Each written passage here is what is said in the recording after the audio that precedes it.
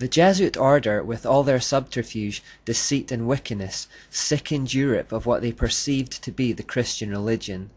Just like when Catholics were keeping people locked in ignorance to perpetuate their own lust for power during the Dark Ages, just like when they were launching crusades and inquisitions and imposing torture and death on anyone who didn't conform to their faith, just like when they were amassing wealth at the expense of innocent people using extortion, fear, and intimidation, this had all been conducted under the banner of the Christian cross.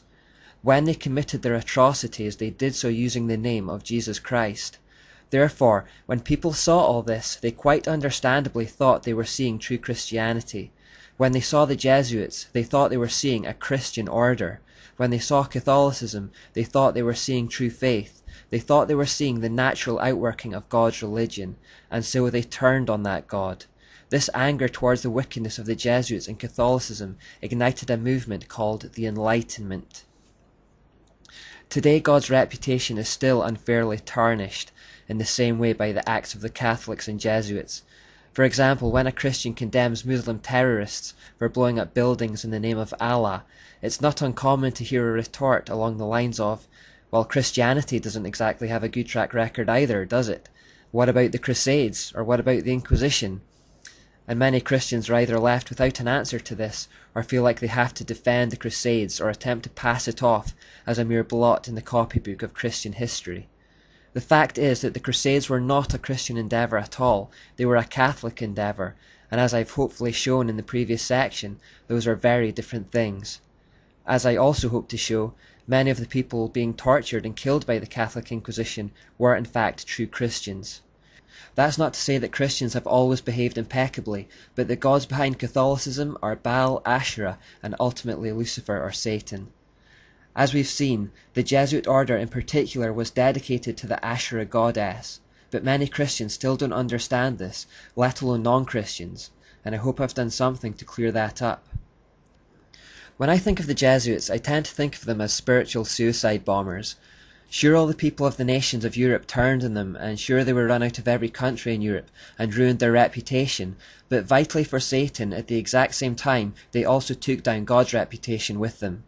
People turned on the God they thought the Jesuits represented. It was fifth column tactics. The Jesuits pretended to be a part of the thing they wished to destroy. So in the eighteenth century, for the very first time in world history, in an attempt to escape all the religious turmoil that had dogged the world ever since the Catholic Church had risen to power, people attempted to create a godless society which would be free of the kind of corruption and tyranny they had become accustomed to from that Roman Church. We sometimes think of the Enlightenment as a neutral movement to pursue reason and science, as some kind of natural evolution of mankind, where a light bulb suddenly went off above our heads and we realized God was silly. In reality it was a reaction to something. It was first and foremost, at its heart, an anti-God movement.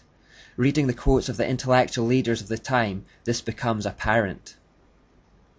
Voltaire said, You will notice that in all disputes between Christians since the birth of the Church, Rome has always favoured the doctrine which most completely subjugated the human mind and annihilated reason. He also said, as you know, the Inquisition is an admirable and wholly Christian invention to make the Pope and the monks more powerful and turn a whole kingdom into hypocrites. He also said, Every sensible man, every honourable man, must hold the Christian sect in horror. H. G. Wells said, The greatest evil in the world today is the Christian religion. Everywhere in the world there are ignorance and prejudice, but the greatest complex of these, with the most extensive prestige and the most intimate entanglement with traditional institutions, is the Roman Catholic Church. It presents many faces to the world, but everywhere it is systematic in its fight against freedom. You see how they use the words Christian, Rome, and Catholic Church interchangeably. These quotations highlight the fact that the Enlightenment thinkers saw no distinction between Christianity and Catholicism. They were looking primarily at the atrocities of the Catholic Church and deciding that if this was the end result and religion of God, then the answer was to abandon that awful God. Instead, they would turn to knowledge and science for the answers. They would make themselves the centre of all things. Like Adam and Eve, they would turn away from the tree of life and put their hope in the tree of knowledge. Like Adam and Eve, they would not see that they had in fact been deceived by the serpent who had whispered into their ears that God was a wrathful deity of hate, intent on keeping their minds in darkness and ignorance. The early Enlightenment thinkers had a fairly big problem, however, in their attempt to create a godless society. You see, if they took God out of the picture, they had no idea where all this came from and how it all got started. The idea of evolution, which suggested that all things could be explained without any kind of creator at all, did not gain public acceptance until Charles Darwin published his book The Origin of Species, and this book wasn't published until 1859.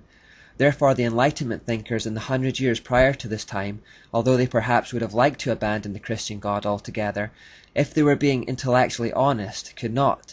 They still had need of some kind of higher power to explain how the world came to exist in the first place. The world couldn't just pop into existence, something must have caused it. No realistic alternative to God that could be backed up by reason and science was available to them at the time. Therefore a great many of them tended to settle on a belief system known as deism.